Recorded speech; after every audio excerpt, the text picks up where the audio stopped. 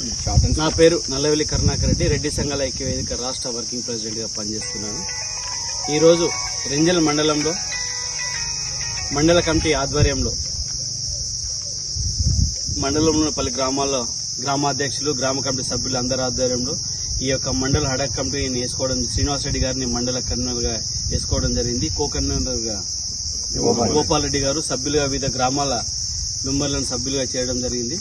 ఈ యొక్క సభ ముఖ్య ఉద్దేశం రెండు వేల పద్దెనిమిదిలో ఏదైతే మన గౌరవ ముఖ్యమంత్రి కె. చంద్రశేఖరరావు గారు పాక్షిక మేనిఫెస్టోలో వాళ్ళ పార్టీ తరఫున ఏదైతే పెట్టడం జరిగిందో కార్పొరేషన్ రెడ్లకు ఏర్పాటు చేస్తామని మాట ఇచ్చి మర్చిపోయిన ముఖ్యమంత్రి గారికి మరొకసారికి గుర్తు చేసే విధంగా తెలంగాణలో ఉన్న అన్ని జిల్లాల్లో గ్రామాల నుండి సంఘాల నుండి ప్రతి ఒక్క సభ్యుడు కూడా నేను సైతం నా జాతి కోసం అని చెప్పేసి ముందొస్తున్న సందర్భంలో ఈ రోజు కూడా మీ యొక్క మండలానికి రావడం జరిగింది. ఇక్కడ కూడా మండలంలోని అన్ని గ్రామ సభ్యులు కావచ్చు గ్రామ గ్రామ రెడ్డి సభ్యులు కావచ్చు అందరూ ఉత్సాహంగా మేము సైతం అని చెప్పేసి ఈ యొక్క మండలం నుండి ప్రతి ఒక్కరు కూడా ఇంటికొక్కలు వచ్చేసి సభను విజయవంతం చేస్తామని చెప్పేసి మాట ఇవ్వడం జరిగింది.